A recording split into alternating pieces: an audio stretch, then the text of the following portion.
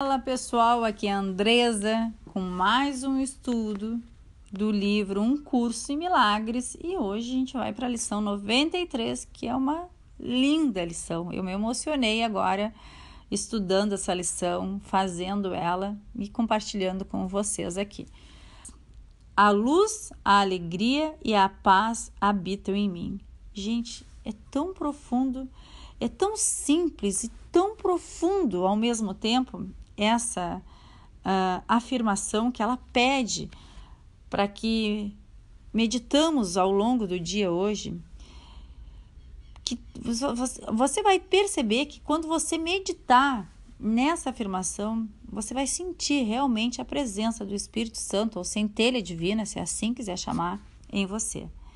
Então vamos começar a estudar essa lição. O que, que ela diz aqui? Bem profundo e, bastante abstração já aqui no início, tá? Tu pensas que é o lar do mal, da escuridão e do pecado. É forte isso que ela está falando, gente. Pensas ser alguém uh, cometido de pecado. Pensas que essas crenças que você tem é verdadeiro e que essas crenças estão fixadas em você. E por isso que é difícil de você perceber a luz, a alegria e a paz em você. Então ela diz o seguinte: que por mais que você tenha né, cometido equívoco, equívocos na busca da salvação, né, e buscar a salvação de maneiras estranhas, por fantasias, por sonhos, né, por ter acreditado em ídolos, por ter uh, acreditado em coisas que não eram reais. Por mais que você tenha trilhado esse caminho, né? Você, nós, todos nós, estamos com a nossa impecabilidade garantida por Deus.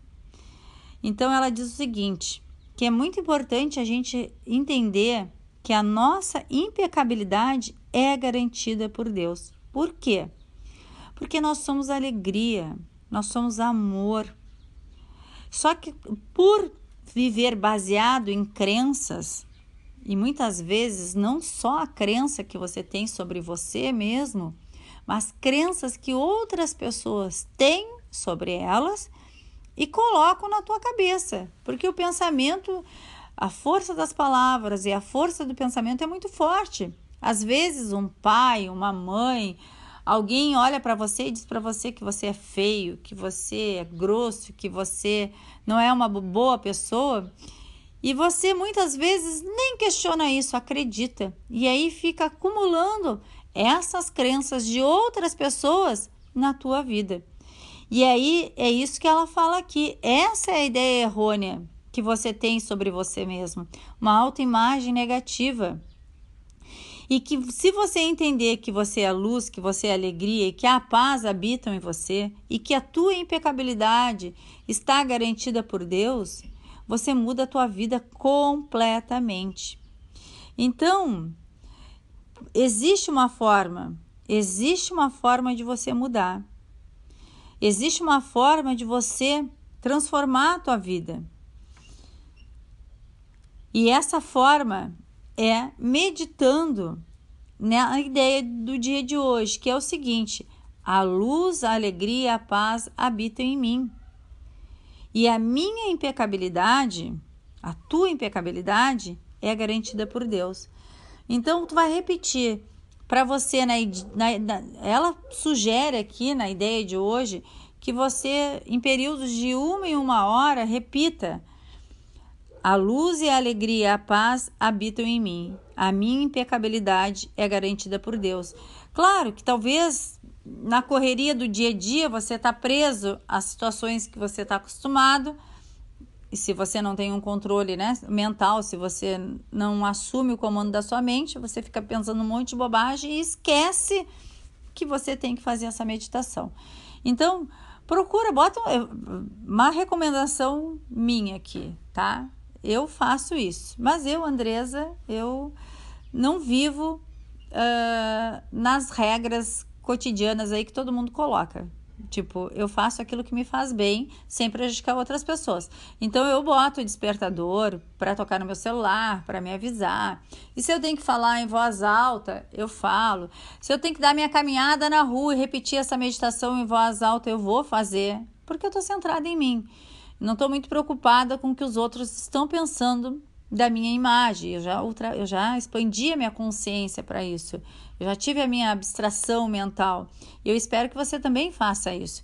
Então, coloca aí no teu celular um tipo um despertador para te avisar a cada uma hora que você tem que repetir a luz, a alegria, a paz habitam em mim. E a minha impecabilidade é garantida por Deus. Então não acredita, né, que você é uma pessoa ruim, que você é uma pessoa que não consegue fazer nada, que você é fraco, né? que você não é inteligente, que você é feio, que você não está ajustado, que você é uma pessoa estranha. As pessoas fazem isso. É incrível como um ser humano, quando ele está doente, tá? E a doença é, os, na no meu ponto de vista, é os conflitos mentais, é a pessoa não está uh, ancorada nela mesma, quanto ela é capaz de, com as palavras, uh, dizer coisas que não são legais para as outras pessoas. Então, não seja uma dessas pessoas. Né? Então, procura habitar, uh, procura habitar, procura meditar nessa afirmação para que você se liberte, né? Se perdoe, porque o que que ele tá, o que que a autora está falando aqui, né? Está falando de se perdoar, Está falando de aceitar a luz. E quando você está bem com você, quando você sente a alegria de Deus, quando você sente a alegria do teu Espírito Santo, da centelha divina, você não fala nada de ruim para as pessoas, porque você não está projetando as tuas sombras no outro. E as pessoas fazem isso fazem. As pessoas frustradas, as pessoas que estão uh, vivem pelo julgamento, pela crítica, elas fazem, porque elas acreditam, infelizmente, elas têm uma ideia errônea que elas vão se sentir melhor quando elas muitas vezes falam uma coisa que ela acredita que vai magoar aquela pessoa e consegue muitas vezes magoar. Né? A pessoa que não está centrada nela consegue. Às vezes uma pessoa diz assim: Nossa, como tu é estranho. E aí a pessoa que não está firme nela se magoa com aquilo. Então não seja uma pessoa assim. Busque essa alegria, essa luz, essa força que existe dentro de você, a força do Espírito, a força do Divino, da centelha, do nome que você quiser chamar, da consciência, do todo, isso não importa, mas essa força superior ao teu ego, às tuas crenças, busca essa luz, essa alegria que habita em ti e você vai ver que você vai se sentir tão bem, mas tão bem, tão bem, que você vai olhar para as pessoas com amor, com compaixão, com carinho.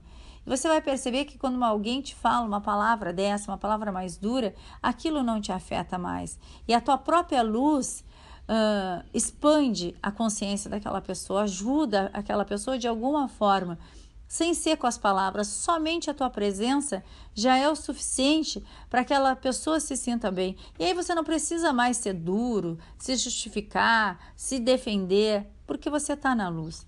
Então, pratica hoje a ideia do dia, repete a cada uma hora, bota aí no teu celular, né, te programa e repete. Feche os olhos, se você puder, feche os olhos, coloca a mão no teu coração, no teu peito para te conectar com esse vórtice de energia que é o teu centro cardíaco.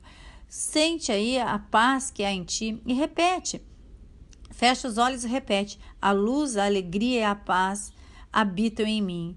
A minha impecabilidade é garantida por Deus e sente isso como verdade. Busca sentir e aí você vai ver que você vai se sentir muito bem, muito feliz e o teu dia vai fluir, as coisas vão acontecer, a tua vida vai fluir.